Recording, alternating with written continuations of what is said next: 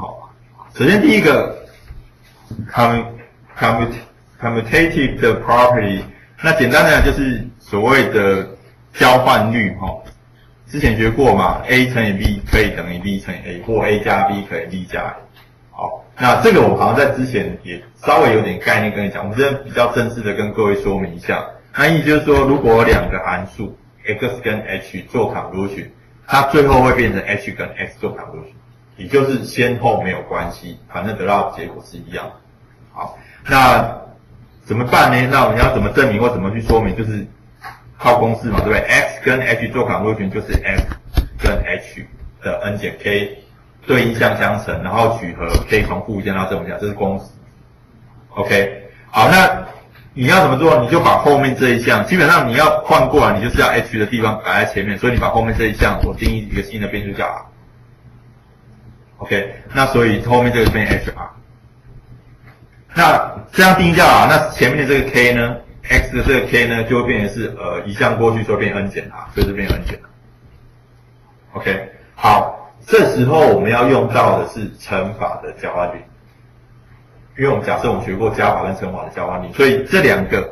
x 的 n 减 r 跟 h 的 hr 两个相乘，可以变成 hr 跟 x 的 n 减 r 相乘。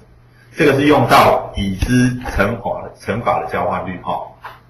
OK，好，那这样换过来之后，那你就会得到下面这个式子。哎，那个式子就很熟。这个式子我先不管这，反正就是这一项跟后面这一项。前面这一项跟后面这一项做 convolution 的结果，所以就等于 h 跟 x 做 convolution。好，因此第一个我们就证明了 x 跟 h 做 convolution 会等于 h 跟 x 做 convolution。好，很简单哈。那另外一个是肯定 u 态，下面是肯定 u 态，那 x 跟 h 做 convolution 也会等于 h 跟 x 做 convolution。那一样带公式哈，就带进去 integration x 套 h 的 t 减套。那你把后面这一项做变换变数，就叫做 sigma，对不对？好，那 sigma 就会变成 h sigma，前面就是 x x 的 t 减 sigma。那唯一跟 continuous 跟 discrete 不太一样，是因为前面这个底抛做完后，这边有个负号，那你的积分积分会从正无限大积到负无限大。好，因为在三角群在 discrete 你由负的一个一个加过来，跟由正的一个一个加过来是一样的。但是积分不一样哦，特别注意一下，积分这个地方从正无限大积到从正无限大这边积到负的无限大，它是逆的方向算。哦，如果你要把两个换过来，正无限大积到负无限大变成负无限大积到正无限大加一个负号。好，那加负号就加负号嘛，可是前后面还有一个负号，后面这边还有一个负号，所以这两个负号刚好可以抵消掉。哦，负负得正，所以得到正。这两个再换过来，你的积分就变成负无限大增到积到积积到正无限大，然后 s 的 t 减 t 减 sigma，h 的 c sigma，然后再来再用到乘法的交换率，所以这两个再换位置，对，换过来就变这个 case。好，换完之后你会发现，哦，就是第一个跟第二个做函数群就是 h 跟 x 的做函数群的结果。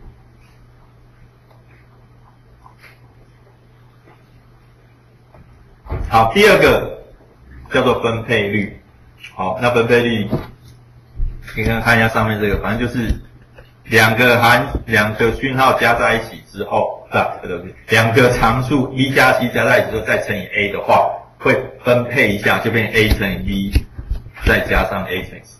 好，这是我们已经有学过的，假设已经学过的乘法对加法的分配率。好，那我们这边要讲的是，如果今天有两个函数 h1 跟 h2 加在一起之后，再跟 x 做 convolution，它其实会等于 x 跟 h1 做 convolution，h x 跟 h2 做 convolution，然后再加在一起。好，这是上面这个是 discrete 的，它下面这个是 continuous。好，那我我大概说明一下那个 continuous discrete time 的 case。好，那一样你也是根据定义，对不对？那就是 k 等于负无限大到正无限大，好，那就是 x k，然后后面就乘以这一项，好，所以这是 h one，然后这边的 n 减 k，对，加上这个 h two n 减 k，对，公式就是这怎么把它，就是两个东西的考虑，就是把这两个东西。前面那一项不变，n 变 k，后面那一项的 n 就变 n 减 k，然后把它带进去，所以这是等于过来。好，那再来就用到乘法的分配率，因为我这样画完之后，其实变成三个东西的三个变数或三个数字的乘法分配，所以一样就把它拆开来，啊，这一样是 k，然后这是 f，k 跟 h one n 减 k，然后再加上。S 的 k，然后这是 h2 的 n 减 k，好，这整个挂号。好，然后还有就是接下来就是这个 summation 可以进来，这个 summation 可以进来，对吧？因为这是乘，然后再加这两个可以拆开了，所以我事实上是可以把它拆成两个 summation k，然后 sk 拆成两个 summation k。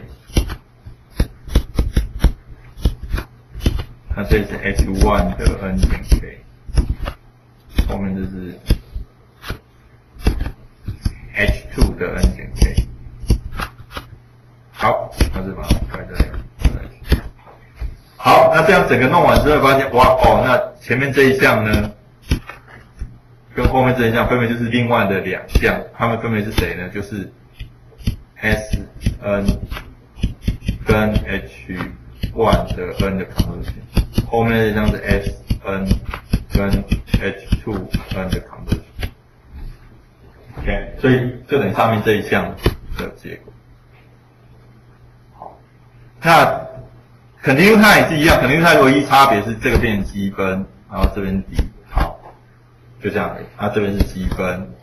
然后积分，那积分也一样可以分配开来，先加减再积分，可以先积分再加减，好，那一样得到。这些关系，然后就等于后面这串。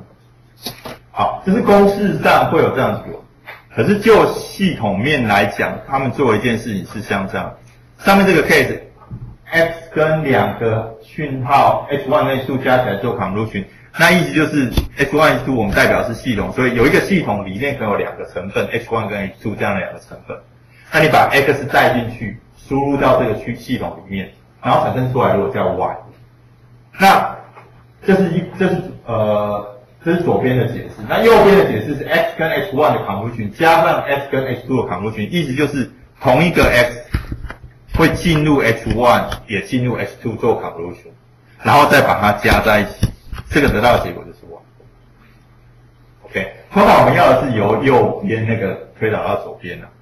对我设计了两个子系统。同一个讯号进去，进入两个子系统，那我所呈现的结果，其实效果就是这两个子系统可以把它合在一起，先做加成之后，啊，反过来讲，我也可以说，我希望有一个大系统是这样。那如果可以拆解成两个部分的话，哦，这种好像并联式的把它拆解成两个部分的话，我可以分别去设计完，然后再把同一个讯号丢进去所产生出来的结果。OK，好，这个是从呃图上的告诉你有这样的性质，对不对？好，那第三个是分配，就是我一样有，呃，这是这是另外一个，不是第三，是第二个分配，是从另外一个角度来看，是我如果两个讯号加在一起，我两个函数加在一起之后，跟第三个讯号、第三个函数做扛入讯它也会等于先 s one x s one 这个跟 h 做扛入讯还有 x two 跟 h 做扛入讯。好，这是。那个加的那个在前面的时候，这个，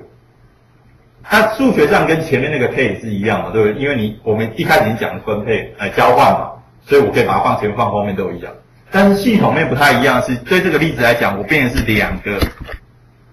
讯号输入的讯号，我把它加在一起之后，再跟这个系统，再跟个这个系统做运算处理所得到的结果，会等于这两个讯号。分开来，先针对这个系统去做，之后再把它合在一起。OK，通常你们设计的时候会碰到的问题是右边那个 case，你设计了很多系统，好，那你很多个讯号进去，就会发现说，哎，这个这个系统其实是等效的，就这个讯号进去那个，另外一个讯号进去那个，然后在第三个讯号进去那个，可是这个系统其实是等效的，所以我可以把这个讯讯号先加起来。再进入一个单元就好，我不用设计两组电路或两个电路去处理这件事情，我可以把原来这个讯号先加在一起，然后进来再处理。好，所以这个是那个如果分配率用在前面这个讯号的话，会有这个结果。好，那有这个概念之后，我们就可以做处理的时候可以方便很多。意思就是说，像我刚才提到的，我可以把这个，嗯，